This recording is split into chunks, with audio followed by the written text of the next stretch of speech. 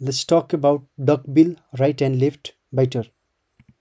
This is a picture showing duckbill right and left biter. It is a cutting and dissecting type of instrument. Now identifying points.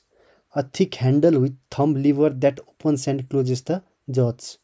It has a square shaped cutting tool on the right or left side of the instrument. Use it cuts and dissects tissue during arthroscopy procedures. Important point to remember. Before handling to the surgeon, hold this instrument by the handle with the cutting end away from you so that the uh, visualization can be done about the side cutter is facing. End of the topic.